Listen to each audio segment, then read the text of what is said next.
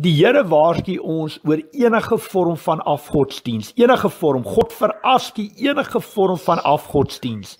En wat daai mense gewoonlik doen, of hulle nou broederbonders is of hulle vrymesselaars of hulle roundtables is, Die Here weet wat binne daai plekke gebeur. Verstaan jy? En die Here as die Here vir my wys dis 'n dit is afgodsdiens, dan hanteer ek dit ook so. Baie mense verwag van jou, weet jy wat, jy moet vir hulle presies nou vertel wat in satanisme gebeur. En dit is baie keer onmoontlik want ons was nie self sataniste. Ek het nie katte geëet en myself flenters gesny en 'n ander god aanbid nie. Maar die Here wys vir ons in sy Bybel soos soos homoseksualiteit. Ek was self nie 'n homoseksueel in my lewe nie, maar die Bybel leer vir my dat homoseksualiteit vir die Here verkeerd is. Dit is vir God 'n gruwel in sy oë en weet jy wat? Nee, die Bybel leer vir ons dit is verkeerd. En ons wat geestelike werk vir die Here doen, bevryding en beradingswerk, as die Here sê, uh um dit is verkeerd, dan is dit verkeerd. En dieselfde met ouens wat by mekaar sit. Verstaan jy? En hulle gee dit maar net ander name, maar op die einde van die dag kyk hulle na mekaar. Dis ouens wat wat wat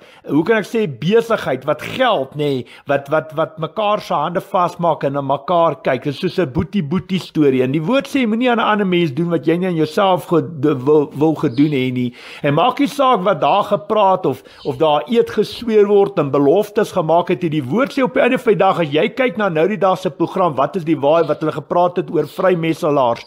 Weet jy wat? In die eerste 10 minute was dit klaar vir my twee dinge wat totaal en al uitgestaan het.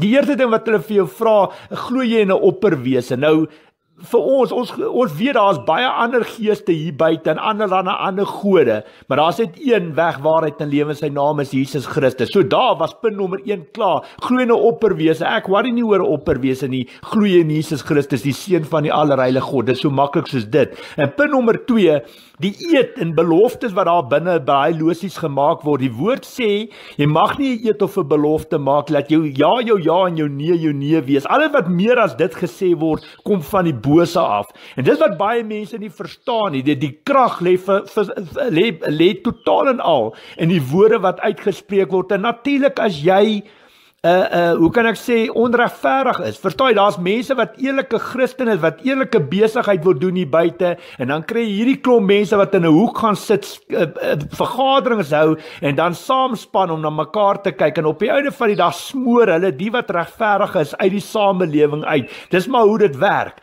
Maar ja, die Here het die laaste sê en ja, jy kan natuurlik Uh uh, jy weet uh, Karla jy's nie in die slaap nie jy, jy het baie wysheid ook ontvang en jy identifiseer baie baie dinge. En dis ook al wat ons kan doen. Ons kan bid vir mekaar. Jy moet onthou Jy moet altyd onthou dat enige persoon wat voor jou kom, as hy nooit bevryding ontvang het nie, miskien het hy uh, slegte vrugte soos pornografie en en en verslawings en dobbel en, uh, en al daai tipe dinge, maar partykeer is dit alles net sy takke van 'n groot wortelprobleem in 'n persoon se lewe. En dit is wat belangrik is, dis die Heilige Gees wat jou lei en waar die dag wanneer daai ou op jou pad kom en God gee die opdrag, nie jy as mens nie. God gee die opdrag dat jy met daai mens werk, sal die Here vir jou openbaar waar die wortelprobleem sit in daai persoon se lewe. Anders sal Satan net katte en muis met jou speel. En ongelukkig, jy sien die mensdom vandag Maar onthou God sê in sy woord Eksodus 20 vers 2 tot 6 dat hy straf tot in die derde en vierde geslag van die wat hom haat. En jy weet self as ons kyk na die bloedlyne hoeveel foute daar gemaak word van van moord en en en en oorlog en en afgodsdienste en valse gelowe en okkulte en al daai tipe dinge en rondhoerery en bloedskandes. Verstaan jy weet dit? Ek bedoel jy het nou al 'n pad saam mee gestap wat dit aanbetref. En dis hoekom 'n ou baie baie moet versigtig wees om net oppervlakkig na 'n persoon te kyk, want die Here breek dit oop. Die Here bring so 'n persoon. Ja, weet jy wat die woord sê? Daar's net een wat goed is. Dis die Vader wat in die hemel is en deur 'n gebrek aan kennis kom kom 'n vol, kom die mensdom totaal en al tot te val omdat hulle nie die regte woord in die in die kerke al ewig kry nie. En dis hoekom dit wat jy nou sien ontplof in die samelewing is maar net opbouende bloedlyn vloeke en mense wat totaal verval in wetteloosheid en wat wat God dien met die mond en nie met die hart nie. En dis hoekom jy weet wat ons kan net bly bid vir mekaar. En ons moet altyd onthou op die einde van die dag God maak die hart van mense ontvanklik. Hy oortuig dit deur die krag van die Heilige Gees en en Jy, dis God se werk. Daar's sekere goed wat ons eenvoudig nie kan doen nie, maar ons kan bid vir mekaar en die Here kan enige persoon, net soos Paulus, binne sekondes verander tot voordeel van sy koninkryk. Ons weet binne 3 dae het God van Paulus een van die grootste apostels in die Bybel gemaak en dit kan die Here vir enige persoon hier buite doen. En dis hoekom dit altyd belangrik is om getrou en gehoorsaam te wees aan die stem van God.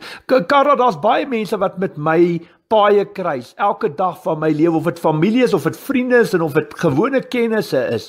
Maar op die einde van die dag, jy kan absoluut niks vir 'n persoon doen as God hom nie ontvanklik maak en jy moet altyd met wysheid praat en optree en die oordeelstraf en vergelding totaal en al vir die Here los en die Here toelaat as die Here op jou hart druk om lekker te gesels oor oor iets as dat jy dit in in gehoorsaamheid sal doen en laat die Here dan die res sal doen in daai persoon se hart. En dis hoekom ons werk is om te praat of mense luister luister of nie. Jy moet praat. Dit moet by hulle ore uitkom en en en uh wat hulle daarmee doen op die einde van die dag is hulle saak. Verstaan jy? Vrymesel, ek bedoel hulle het nou die aand toe hulle daai vrymeselaars eintlik mooi ingekleer. Verstaan jy? Hulle maak 'n absolute mooi prentjie van dit. Hoe goed is hulle vir die vir die gemeenskap en wat hulle doen en dit baie onskuldig ingekleer.